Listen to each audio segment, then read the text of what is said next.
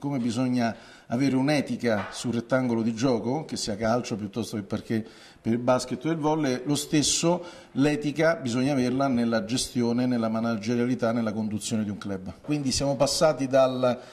eh, oddio che cos'è questo fair play al beh effettivamente ci dobbiamo mettere in linea per eh, trovare un giusto equilibrio. Le nomination di oggi sia in termini di vivaio che di bilancio hanno dimostrato, ad esempio l'Atalanta è l'unico club dei sette che era presente in entrambi i premi, hanno dimostrato che c'è forte attenzione e che ci sono già dei modelli virtuosi eh, di gestione. A livello di bilancio Juventus, Torino, eh, Lazio e Atalanta. Sul vivaio abbiamo di nuovo l'Atalanta, il Milan che ha vinto il premio, la Roma e, e l'Inter. Quindi abbiamo già sette club che si stanno muovendo nel modo migliore. E fermo restando che l'obiettivo rimane un obiettivo ovviamente sportivo, di passione, di emozioni, eh,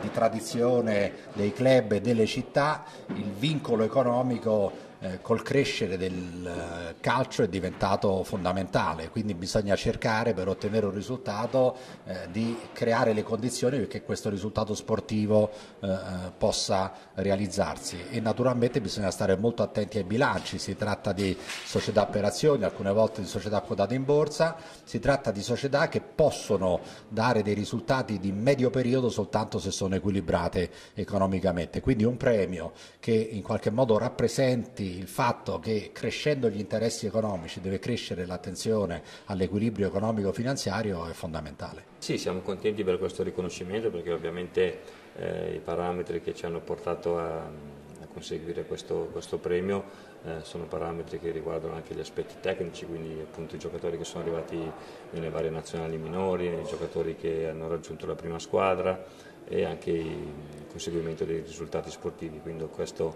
eh, ci dà ancora più forza per continuare per la nostra strada. Eh, vorrei ringraziare ovviamente il club che dà a disposizione tante risorse per il settore giovanile, quindi sia l'area tecnica del dottor Gagliani ma la dottoressa Barbara con eh, l'area corporate, insomma